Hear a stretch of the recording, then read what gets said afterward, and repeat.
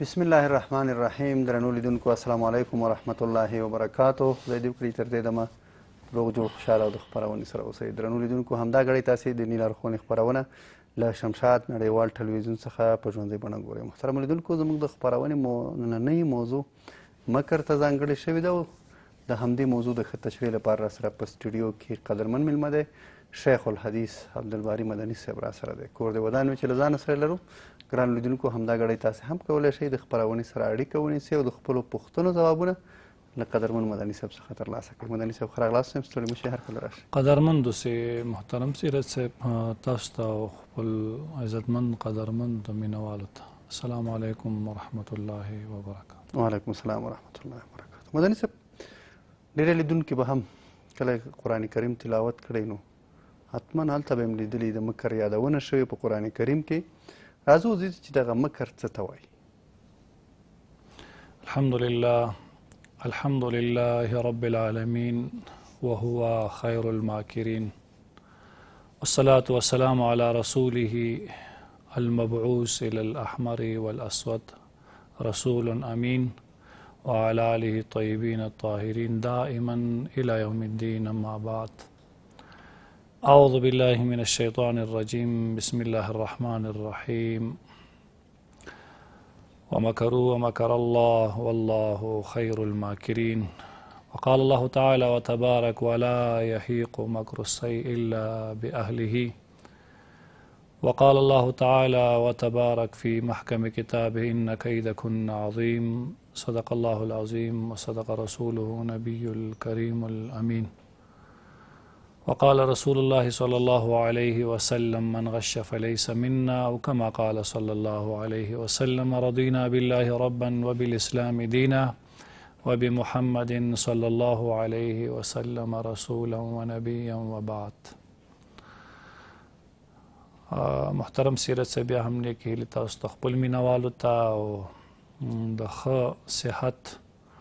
غوښتونکي او د رب ذلجلال نه او د ټولو هغه اعمالو ضمیمه او نه پناه وړو چې په هغې کې مکر هم شامل دی محترم سیرت صاحب خبر دا وي چې د مینوالو سره د مکر په حق لباندې د قران کریم د متعدد آیاتونو پرانا کې مسائل شریک شي اړیکه لرو السلام علیکم ورحمت الله زموږ غږ اورئ که زموږ غږ اورئ مهرباني مدني صاحب راځو خپلې موضوع ته او موضوع په مکر وه چې مکر څه ته وایي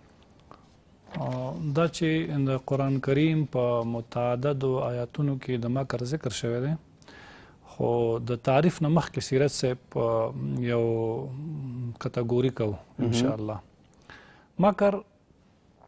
او خدعه او کید دا درې هغه نږدې مترادف الفاظ دي چې په قران کریم کې غالبا په یو او نږدې معنی سره راغلي دي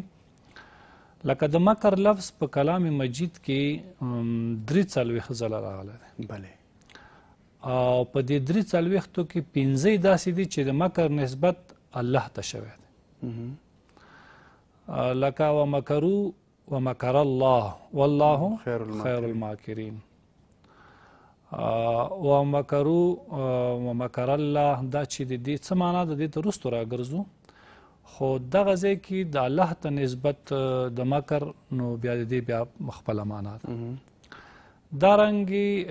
کید چې کوم ده قید دویم هغه لفظ دی چې مترادف دی د مکر سره او دا په کلام مجید کې غالبا 15 دیرش کرته ذکر شوی دی لکه ان کید کن عظیم واکید کیدا ومهل الكافرین امهلهم رویدا او بل چې د خدعه ده لکه یخادعون الله دا پنځه کرته ذکر شوی ده نو دا پنځه او پنځه دیرس نو څلوېښت شو بله څلوېښت او درې څلوېښت نو دا درې اتیا درې اتیا کرته دغه مترادف الفاظ کلمات مقدسه چې کلام دی دا ذکر دی خو خپله معنی اوس څه ده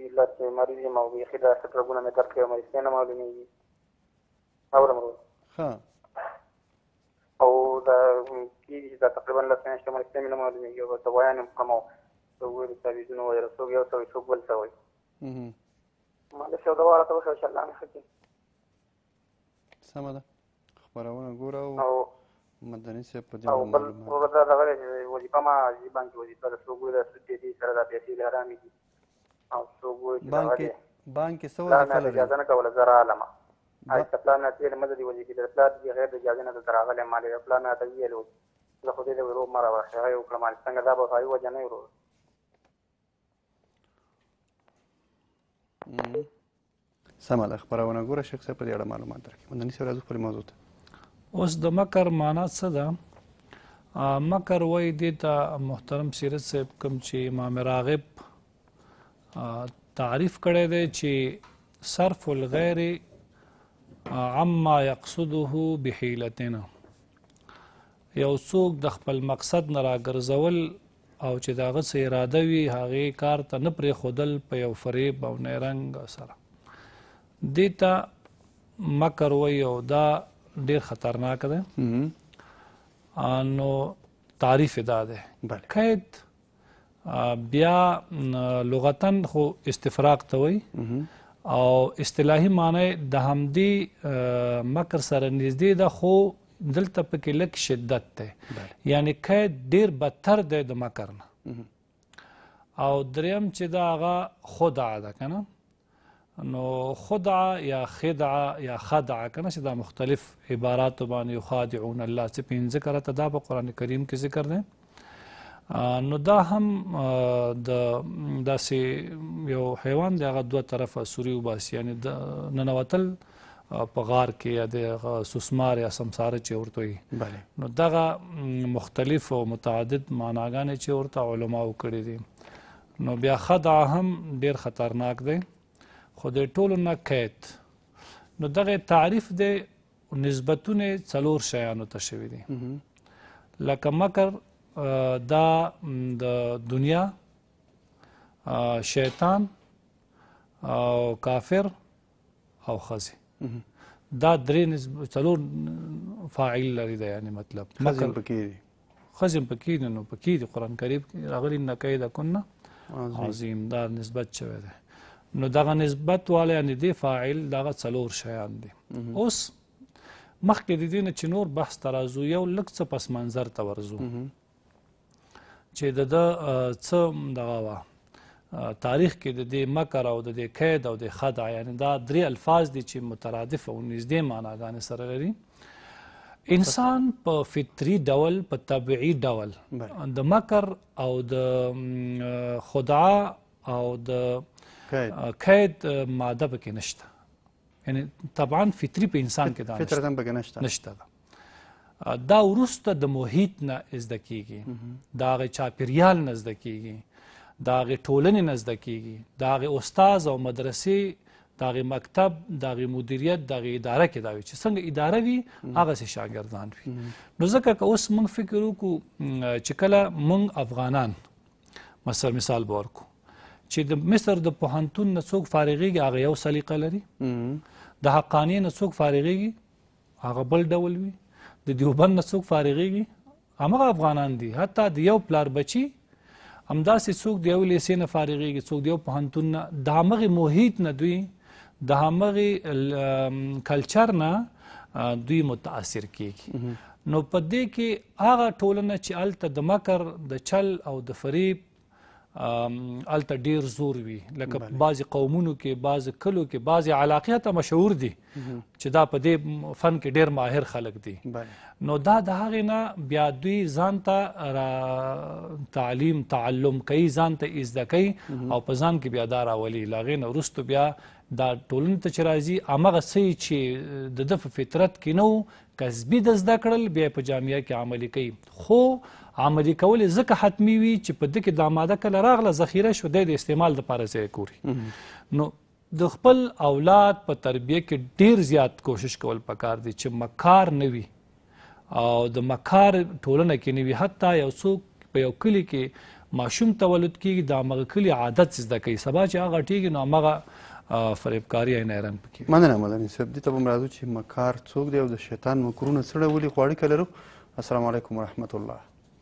السلام علیکم سرت مستمه جوړ خیر وعلیکم سلام تم ستړی مشه مهرباني پښتنه وکړئ مننه سرت صاحب پښتنه مې د محرم په اړه چې ایا دا د محرم کومه پیښه چې پرون تاسو تبصره ورباندې وکړه د دغه محرم یعنی اصلي لامل صرف د حسین صاحب شهادت کېدلی شي او یا بله کومه پیښه هم په دې ورځ کې راغلې وه سمه ده خو د خو موږ تفصیلي خپرونې کړي او زموږ علما په تفصیلي رڼا چولې کې دې تاسو به نه ویلې بیا هم تاسو پوښتنه موږ اخلو مدني صاحب را سره دی او په دې اړه ان شاء الله معلومات درکې خو درنو لیدونکو لنډه دمه لرو چېرته مزه له خپرونې سره پاتې شي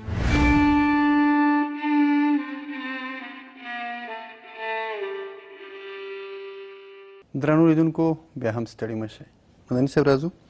د شیطان مکر ته شیطان مکر څه ډول دی محترم سیرت صاحب لکه څنګه چې مونږ مخکې ورته اشاره وکړه د مکر او د فریب او د قید فاعلان څلور دي پاغه کې کافر دی چې په راس کې يهود دي او نصارا په دې باندې کتابونه لیکل شوی دي چې مقاید اليهود عبارت تاریخ او قران کریم کې د دې بار بار ذکر کیږي چې ومکرو مکرن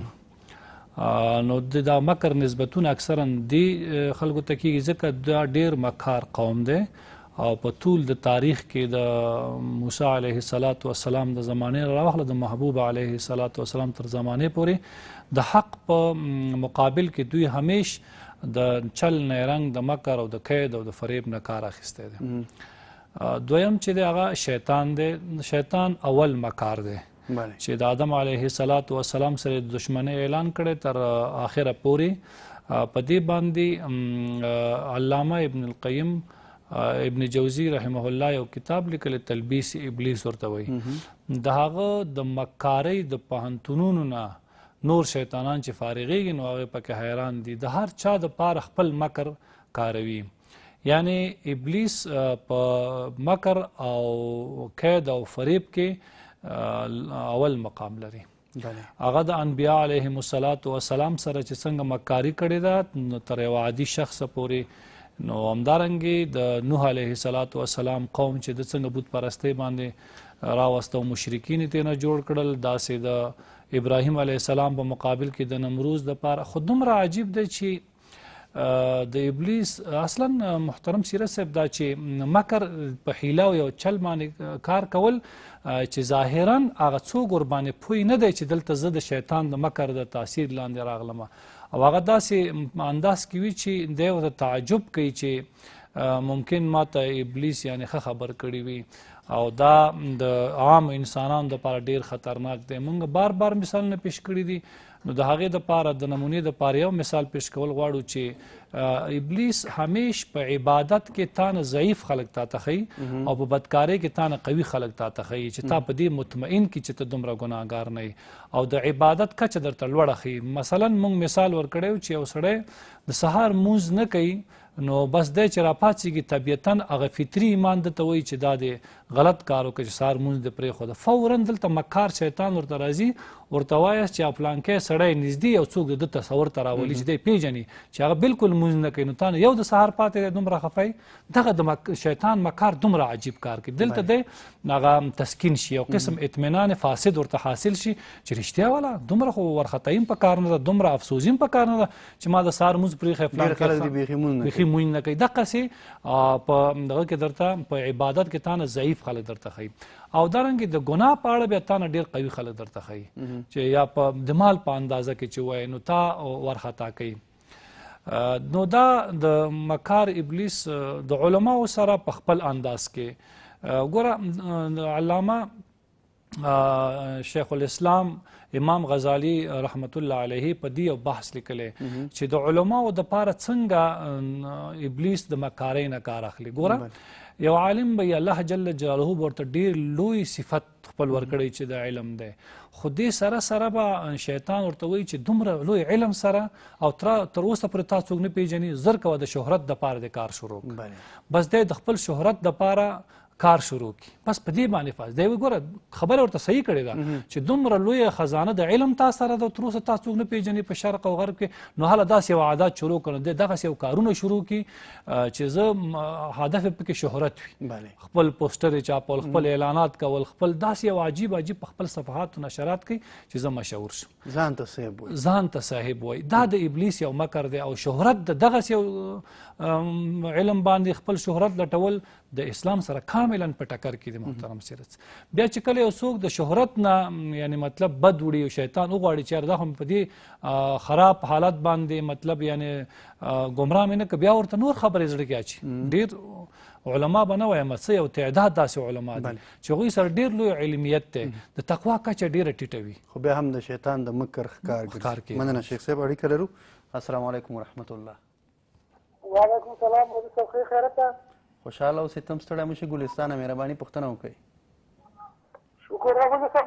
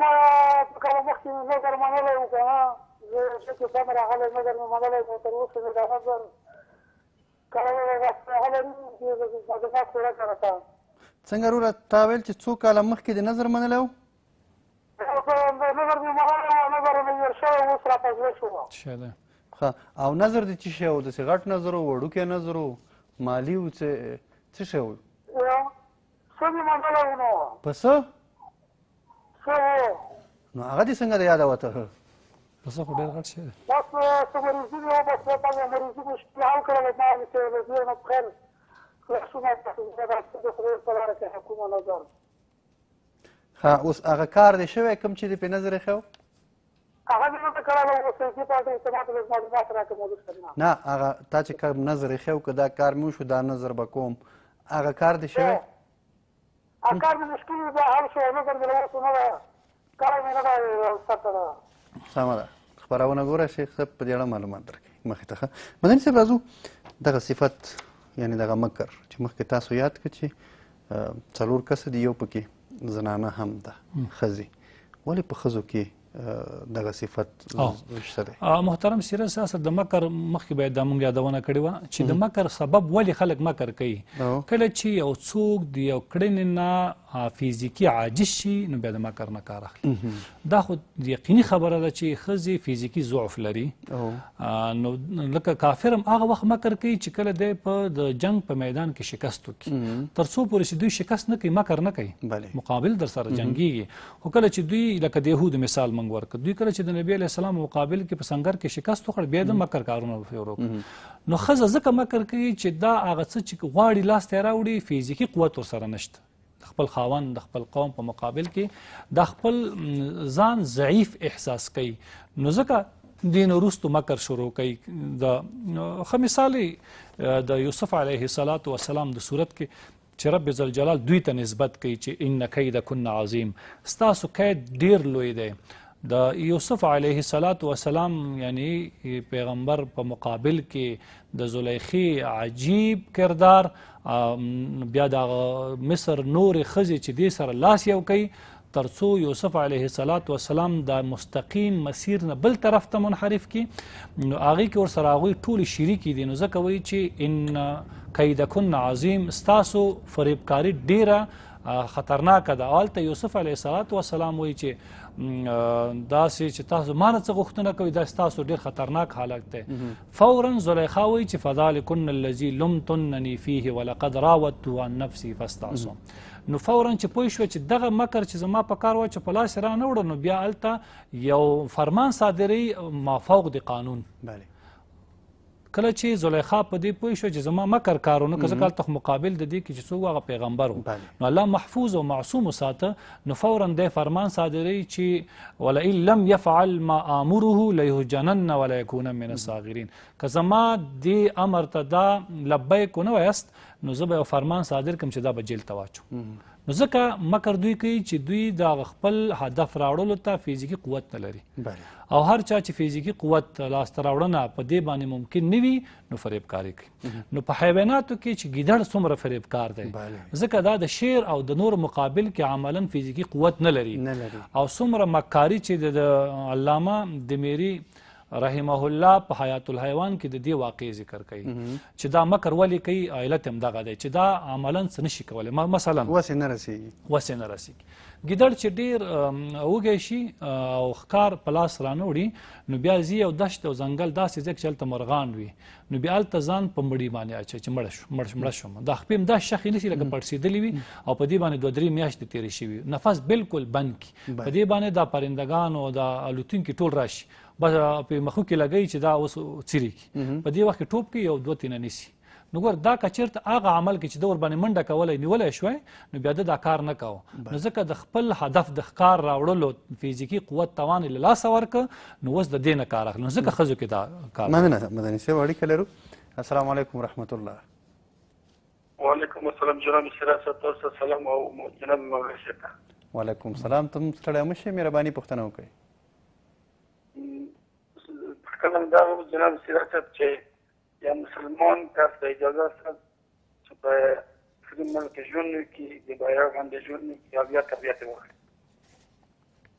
کوم سوال وکړو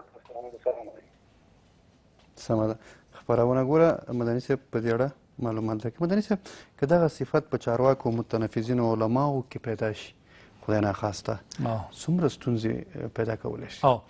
دلته یو مسله ورته اضافه کوم محترم سیرت صاحب چې موږ دا نسبت د خزته وکړو مطلب نه چې زموږ خويندې او دا زنانه په دې باندې خدای نه خواسته خفه وي چې دا نه داسې دی چې دوی کې دا ماده مطلب یعنی احیا ده خو داسې نه ده چې عام طور د ښځو کې خدای نه خواسته دا حالت وي بعضې کې دا وي لکه څنګه چې په سړو کې د مکر او د قید او د چل او فریب نو کله چې یو څوک مکار وي نو هغه قابل د دې نه دی چې په مسلمانانو باندې هغه مشري وکړي ځکه د د مکر د د د مجروح کوي او څوک چې جرح راغله د هغه په ممدوح صفاتو خسته صفاتو کې هغه قابل د مشرع نه دی نو اوس په طول د تاریخ کې چې کوم مسؤلین او چارواکي عموما د دې ماده ډیر زیات تابع دي یعنی د تحصیل لاندې زیات راغلي دي او اکثرا ځکه چې هغه څلورم چې د شیطان او کافر او د خزونو ورستو د دنیا ده د دنیا د لاس ته راوړلو د پاره چارواکي اکثرا مکار کیږي بله نو کله چې دوی مکار شو د دوی مشري شرعا قابل د تنفیذ نه ده یعنی ما تحت د دې چې څوک دی هغوی مجبور او مکلف په قبول د اوامر د دوی باندې بیان دي ځکه رسول الله فرمایي من غش فلیس منا دوی بیا د امت د رسول الله سلام نه خارج کیږي ځکه دا مکر او مکاری دا اسلام نه خوخی نو هغه څلورم علت دی چې په دې کې مشران او اکثره خلک چې د قدرت خاوندان وي غواړي چې مشري ته څنګه ځان ورسي نو اکثرا د دروغ وعده د چل او فریب او نه رنګ نه کار اخلي نو ځکه دوی دغه حالت باندې راځي چې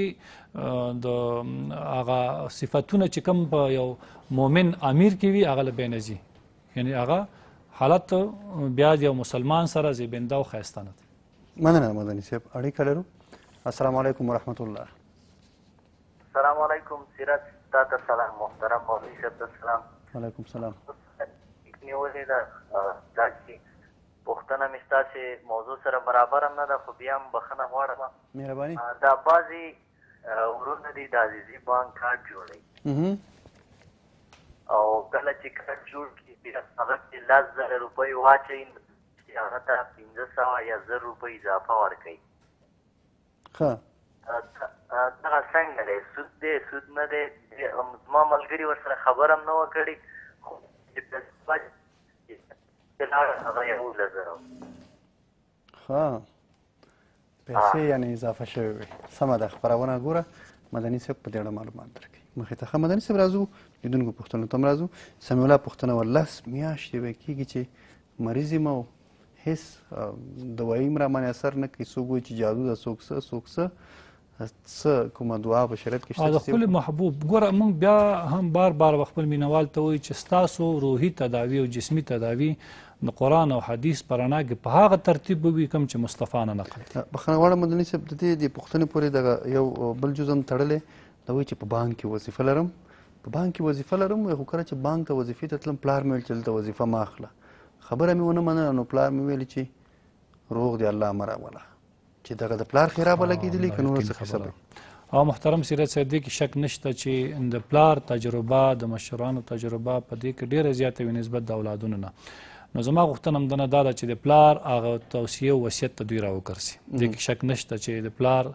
دغسې مسایلو کې تابعداري دا بیا زریره ضروري ده خو د لپاره اوس پکار دی نو کچیرته پلار په قید حیات کې وي او سره تجدید د مشورې دی وکي او که په قید د حیات کې دی نه وي نو د خپل کړنو باندې بیا د سره نظر وکي خو د فعلا د تداوی د لپاره د خپل محبوب رسول الله سلام حدیث مبارک دی په وبو باندې کوفکی او غدسکی بسم الله الذي لا يضر مع اسمه شيء في الارض ولا في السماء هو السميع العليم نو دغه تداوی د عملا شروع کړي د محبوب حدیث ته او محبوب رسول الله سلام خو د خپل امت د پاره ډیر رؤف رحیم پیغمبر دی او د پلار سره د تجدید مشورې مننه مدني صاحب اړیکه لرو السلام علیکم ورحمت الله زموږ غاوري بله واورو مهرباني پښتنه السلام علیکم وعلیکم السلام د مولوي صاحب څخه دا پوښتنه وه چې دارالشورا د پرون وه او که نن ده ښه بلې وه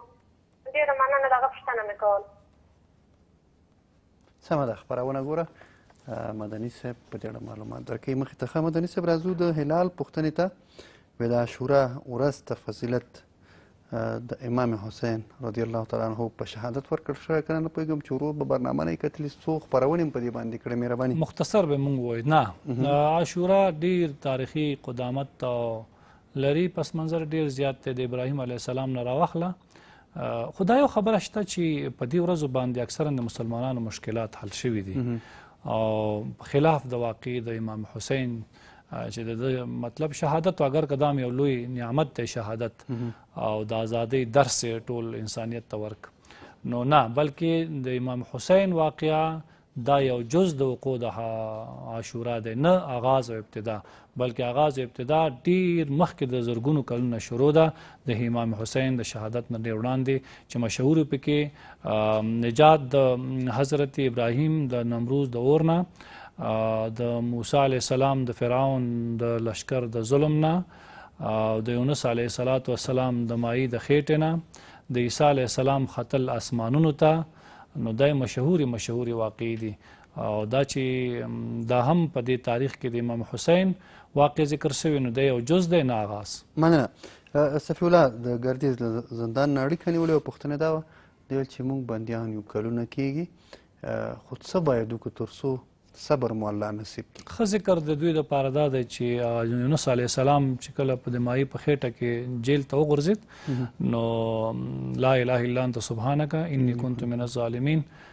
د علماوو دا مشوره ده چې یو لک او څلوېښت زره مسلسل دوی دا ووایاست څو ورځې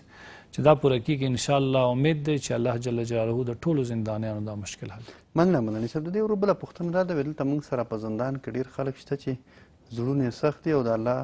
جل جلاله عبادت هم پرېږدي او زړه یې ورته نه کیږي څه باید وکړي چې تر څو د دوی زړونه بیرته نرم شي او اقلا د الله عبادت خو وکړي او دا د سورت یاسین کې کوم ذکر راغلی چې دا داعی چې څوک دی څوک چې دعوت کوي نو دا دا وایي چې د هدایت دعا ورته کوي بس دغه دغه ده الله جل جلاله نه د هدایت دعا تاسو کولای شئ د شپې د تهجد په وخت کې د هغه ملګرو لپاره چې هغه باندې دعوت تاثیر نه لري د هدایت دعا ورته وکړئ اللهم اهدي قومي فانهم لا يعلمون د دې دوه نو وروسته ممکن دا مغوي رونه نرم شي د تاسو دعوت لهجه به ډیره نرموي فقول له قولا لینا نو ته ډیر نرم خبر ور سره کوي ممکن په دغه دوه نسخو باندې د هغوی هغه حالات بدل شي او د ستاسو د نیک دعوت د پاره غوږ کېږي مننه مدني صاحب اړیکه لرو السلام علیکم ورحمت الله بله سلام علیکم وعلیکم سلام مهرباني پښتنه وکړئ خور سیرت صاحب مننه ستاسو د دې پروګرامونو همیشه زه ګورم یو څو سواله لرم مهرباني یو سوال خو مې دا دی چې دغه حضرت امام حسین او حسن چې شهید شوي وو د دوی مور پلار ژوندي وو او که نه او دویم سوال مې دا دی چې مدني صاحب بله ورځ ویله چې ټولو حکما تر چارکول لري هغه په جامو وښل جامې بې لمازه کړي نو تاسو د تلویزیون یو بل تلویزیون هم همداسې اسلامي برنامې لري هغوی نه ما سوال کړی هغوی ویل چا ته شراب هم په کالۍ باندې توی شي نو سړي مونځ ورسره کیږي نو دغه مې سوال دی چې آیا رښتیا چې دې الکولو سره یعنی په سلو کې دوه که الکولو نه لري نو ټول اتر الکول لري او دې سره زمونږ مونځ کیږي که نه او دویمه پوښتنه دریمه پوښتنه مې دا ده چې لبسیرین چې مونږ ته ښځې ټولې وهي او په دې ټولو کې صد فیصده الکول یا شراب شته آیا د دې وخل مونږ ته جایز دي که نه دي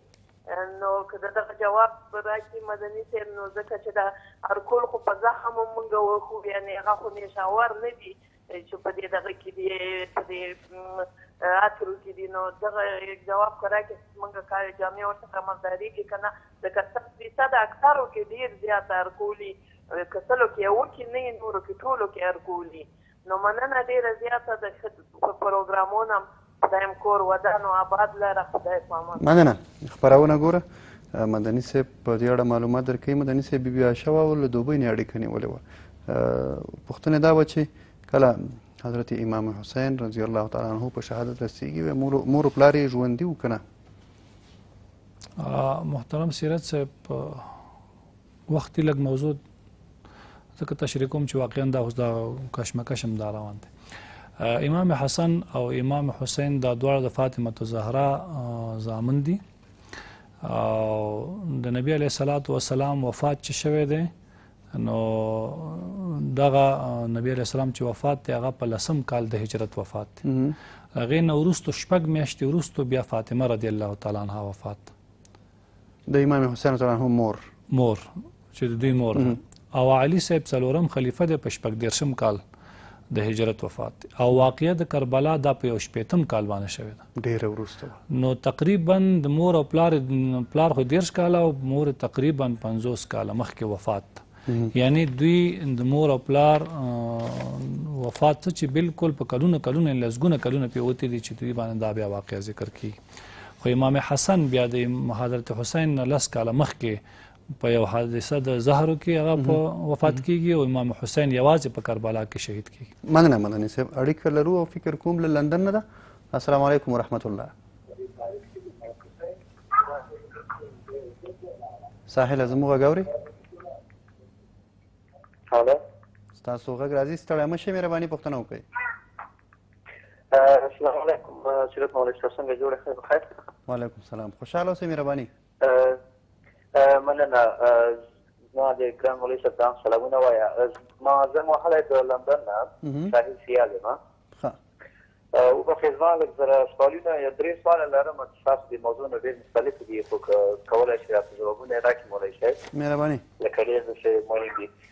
زما اوله پوښتنه ده دلته لکه زه چې زما لکه فامیل فامیل شکر الحمدلله همدلته اوسیږو خو زه چې کله درس وایم دلته موږ باید قرضه واخلو د حکومت نه ځکه پوهنتون کې درس ویل چې دي لکه هغه ډیر مصرف غواړي نو دا د حکومت شرطونه داسې دي چې باید که چیرې موږ کار وکړو د پوهنتون نه بعد فارغېدلو نه که کار هم وکړو هغه پیسې چې دي هغه پیسو د پاسه مونږ نه لس فیصده زیات پیسې اخلي او که چیرته کار هم ونه کړ تر عمره پورې زمونږ نه پیسې نه اخلي نو دا د اسلام له نظره څه حکم لري او دویمه پوښتنه مې دا ده لکه دلته لندن کښې مونږ زیات مولیا مونږ دلته مولوی صاحبانو نه پوښتنې کړې دي د کور اخیستلو په باره کښې ځکه که چیرته کور اخلې په یو قیمت یې درکوي ځکه کله چې ته پیسې نه لرې هغه کور په قسطونو اخلې میاشتنی خو دس بیا بینک دسی کوي چی هغه کور د هغه خلکو نه اخلي بل چا نه هغه تا ته په قیمت په اضافي قیمت درکوي نو دا د اسلام د نظره څه حکم لري ایا دا سود ده ایا دا حرام ده په دې باره کې که لږ دا له موږ څخه تشریحات راکړي او دریمه پوښتنه مې هم همدغسې ده لکه ما یو بل مولوي څنګه پوښتنه وکړه یو څه وخت مخکې د د مال اخیستلو لکه موټر شو یا موبایل شو هم په دې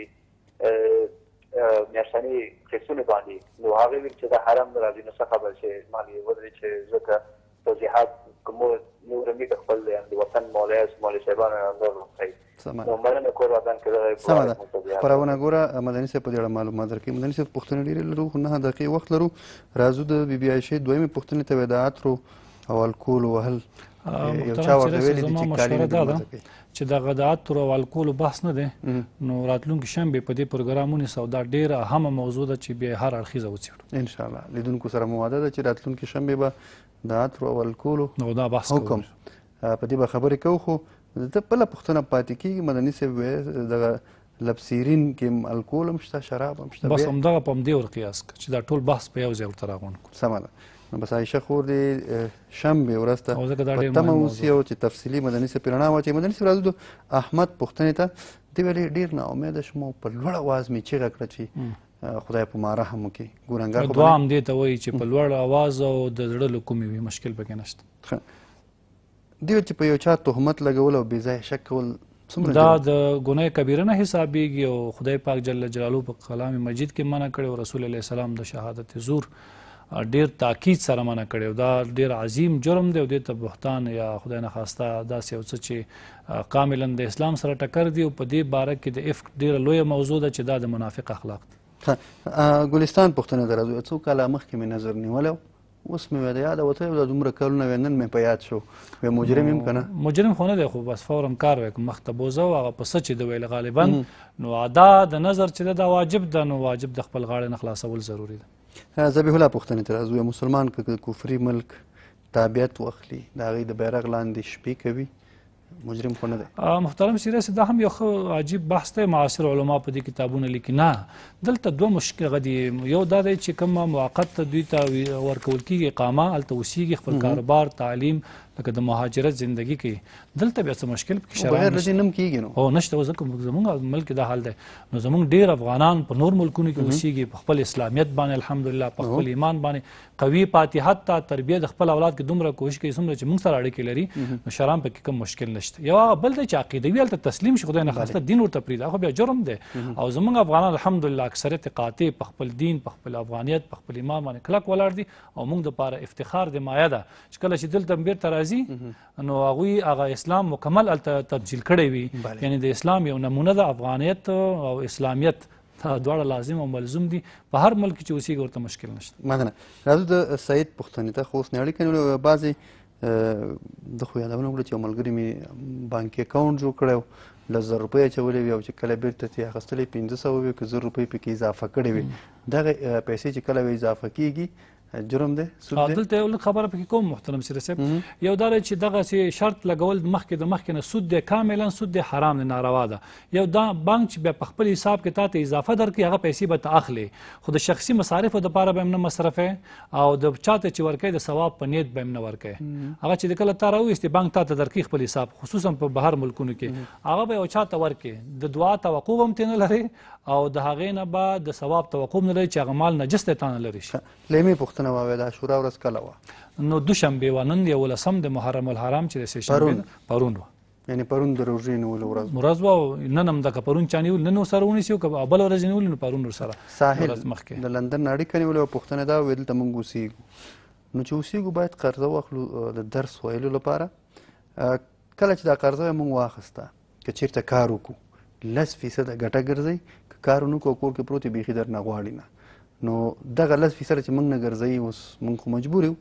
شرعي حکم څه دی ها دلته بیا هم خبره ده چې دلته زمونږ یو لوی مشکل دا دی چې په نور ملکونو کې اوسېدل څه داسې مشکلات لري فمن تر غیر باغن ولا عادن فلا اسم علیه د احتیاجت په وخت کې چې بل څه هیڅ چاره نشته لکه دی ویل چې بل مونږ لپاره هیڅ چاره نشته د الله نه امید دا دی چې مونږ ته الله عفو وکړي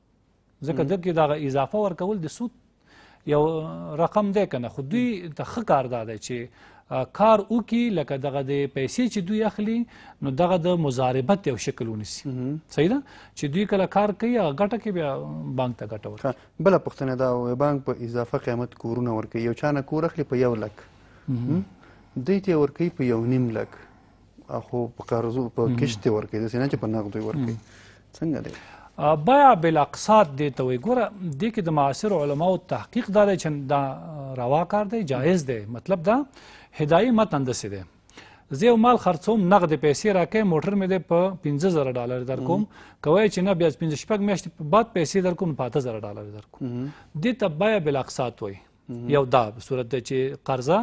او نغده کې فرق دی یو دا چې شی مې در باندې خرڅ کړه په لس زره روپۍ خو زه اوس پیسې نه لرم زه د میاشتې زر زر روپۍ در کوم صحیح ده دې ته بیه بالاقساط وي شران هیڅ مشکل پکې نشته حتی په دې کې خلاف نه دی موجود چې پښتنه د موټر هم کړی ده چې موټر هم دغه په قسطونو دي قسطونو بیه بالاقساط کې خود مخکې څه اشاره وکړه چې موږ د علماونو پښتنه کړې او دغه د موټر په اړه پښتو ویل چې علماونو دلته پښتنه کړې او فکر کوم هغه مرتبه چې مشکل پکې نشته بس مشکل نشته خبر یو ده بس دغه مشکل بیا بل اقساط کې مشکل نشته او دا خو طبيعي مسله ده چې ته چاته پیسې نقد نه ورکې او پیسې په قرضه ورکې قسط خو طبعا طبعا قیمت تمامېږي نو بیا بل اقساط په جی قیمت باندې اخیستل شامل په هیڅ مشکل نشته نه جایز دی مننه مدني صاحب دا چې د خپرونې د پای شي ویل تاسو مننه کوم قدرمن سلام درنو لیدونکو د تاسو هم مننه چې تر دې دمه را سره وي تر بیا چې تاسو په درانه خدمت کې حاضرېږو تر هغې مې په لوی او مهربان رب سپارم هر چیرې چې یاست روغ جوړ خوشحاله اوسئ